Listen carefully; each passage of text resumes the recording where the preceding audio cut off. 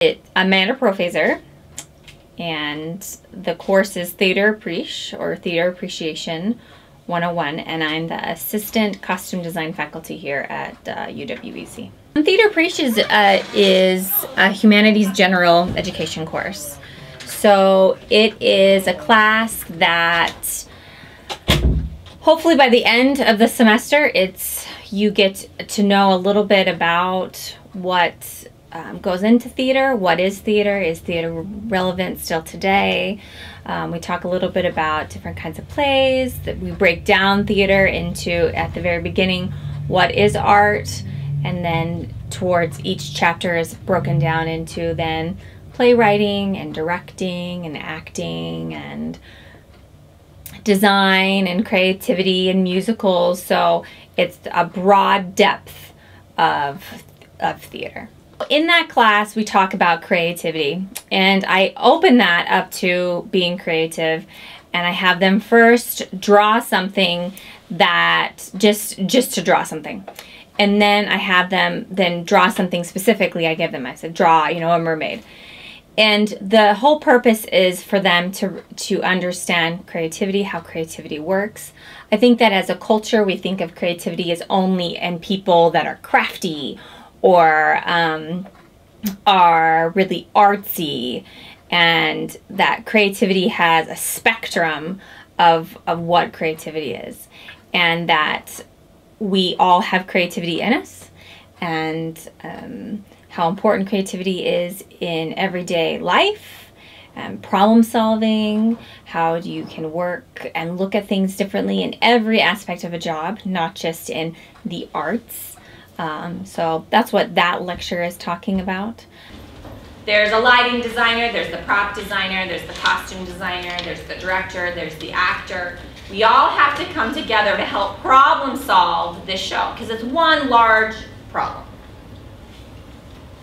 And we all have to come come together with, with our experience, with our um, creativity, and with our problem solving.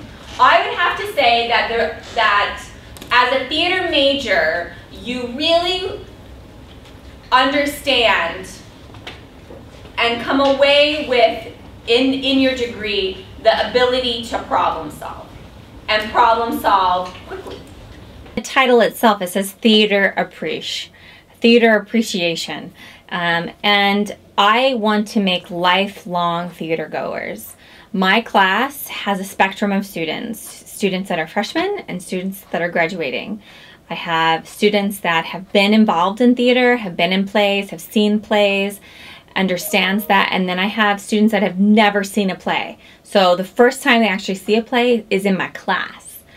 And so what I'm hoping for is that each student can understand what goes into theater, why theater is incredibly important in our culture and important in our society, what that it brings to our community, um, how then even just to be able to watch a movie and to be able to pull out themes, be like, oh, that's what this movie is, or this is what this this uh, playwright or this director is trying to do or say, and um, how is that applicable in my life and in my community and in my world. So that's really what, at the end of 16 weeks, I want them to come out with the fact that they have some understanding of what theater is and what um, how it is involved in their lives, even if they don't actually go to theater. And maybe that they'll go see a show. You know, maybe they'll you know see a poster and be like, "Oh my gosh, we talked about that in in class. I like I want to go see that." or even if, if they don't, that they remember how exciting the, um, the class was. I try to make it really have a lot of energy.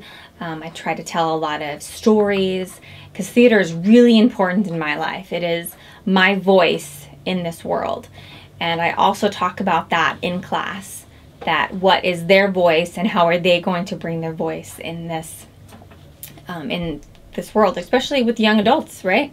You guys are graduating, and when are you going to go out to the world, and what are you going to say? So that's what I hope for.